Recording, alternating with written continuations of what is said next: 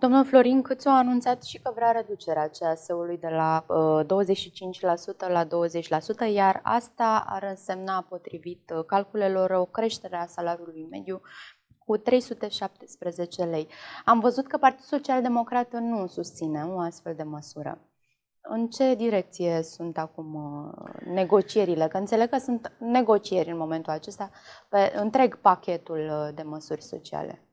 Așa este și normal să existe aceste negocieri, așa cum a fost și în uh, ceea ce privește măsurile pentru rezolvarea crizei energetice sau cel puțin diminuarea consecințelor.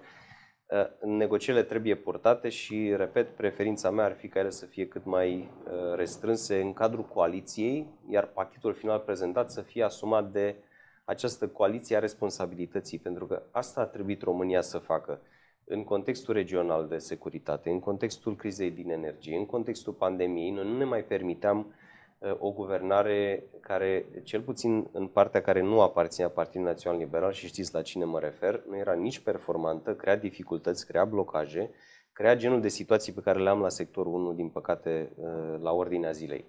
Și atunci, responsabilitatea de a avea aceste partide mature, de a veni cu soluții, de a veni cu reforme, și de a implementa, de fapt, PNRR-ul, pentru că asta este o prioritate zero a României de astăzi, trebuie adusă și trebuie dusă până la capăt cu maturitate, în liniște, cu stabilitate, cu predictibilitate. Asta mi-aș dori eu, ca cetățean, vă spun acum, încercând să scot pălăria de om politic. Măsura de reducere a CAS-ului este una foarte bună, cred, ca economist. Ea lasă mai mulți bani în buzunarul oamenilor, deci, într-un context în care ai uh, un impact din cauza prețurilor la facturile de electricitate, de gaz, este o măsură utilă. Și, de asemenea, și sigur că încurajezi și munca uh, în România. Acum trebuie văzut foarte clar care este impactul bugetar, cum se corelează cu impactul altor măsuri pe care coaliția le gândește și puse toate lucrurile acestea cap la cap. Asta e că ne întrebăm de unde avem bani. Vorbim să... totuși de, pentru toate măsurile, de o sumă Așa mare, este. destul de mare. Ne împrumutăm pentru astfel de măsuri? E o soluție să ne împrumutăm? Uh, vedeți, am lucrat la finanțe și de multe ori în discuțiile de atunci trebuia să fiu polițistul rău din cameră care să spună oameni buni, sună minunat tot ce spuneți, dar din păcate nu avem bani. Și este o realitate că la guvernare, ca și în bugetul unei familii sau al unei firme, dar să luăm bugetul unei familii, trebuie să te decizi foarte atent ce faci cu resursele pe care le ai, pentru că ele nu sunt nelimitate. Și bugetul nu este un sac fără fund. România a intrat în criză, dacă vă amintiți, cu uh, singura țară din Uniunea Europeană cu procedură de deficit excesiv declanșată de comisie.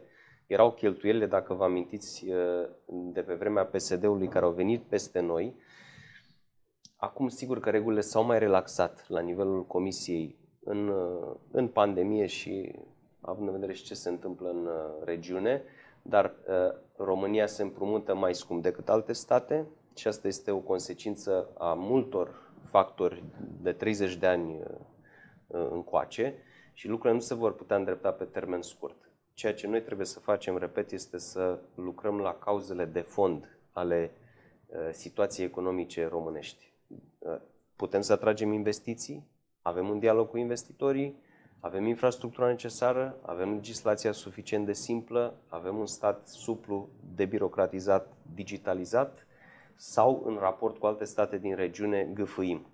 Și vă dau iarăși un singur exemplu la care țin foarte mult. Am tot vorbit în spațiu public că România nu are cel mai important instrument prin care atrage investiții o țară. O agenție specializată la centrul guvernului, deci în subordinea și în coordonarea premierului, care să gestioneze relația cu investitorii. Uitați-vă la Ungaria, uitați-vă la Polonia, la Cehia, la Estonia, la Irlanda, la toate exemple de bune practici de atragere a investițiilor și veți vedea că absolut toate au o agenție puternică care preia un investitor, dacă vreți, de la aeroport, pe covor roșu, îl duce de mână la toate ghișeele și a toate autorizațiile, își scoate firma în câteva ore, în câteva zile, își găsește un teren pentru investiție, își găsește forță de muncă, își găsește furnizori de pe piața locală, își găsește piață de desfacere, deci absolut toate condițiile pentru a avea succes în acea țară. Ori noi, în momentul acesta, dacă vă mai amintiți, exista la un moment dat Agenția Română de Investiții Străine, ARIS, a fost desfințată prin 2009, cred 2006-2009, nu mai știu exact. Ulterior Invest Romania, pe vremea, cred că era guvernul Cioloș, acum s-a ajuns să fie undeva la Ministerul Antreprenoriatului și Turismului câțiva oameni, 4, 10, oricum sub 16, că am răspuns oficial de la minister, care chipurile se ocupă de atragerea investițiilor străine. Nu poți să faci față. Deci polonezii au 300, cehii au 300, ungurii au 1500 de Ați oameni propus în acest lucru în, în partid? Este Ați în discutat? atenția uh, premierului, este în atenția uh, partidului la cel mai înalt nivel, deci sunt convins că este un instrument de care România are nevoie și vă spun are nevoie urgentă. Pentru că în contextul pandemiei, Europa, Statele Unite se decuplează sau decuplat deja de Asia și își caută un loc unde să-și ducă aceste investiții, în contextul crizei din Ucraina, iarăși suntem foarte bine poziționați să primim investitori care caută piețe sigure, piețe democratice și uh, reau comparația cu Ungaria, cu Polonia, cu alte state din regiune care nu beneficiază de aceeași credibilitate ca a României din perspectiva afinității la spațiul euroatlantic. Noi n-am deviat de la traiectoria asta.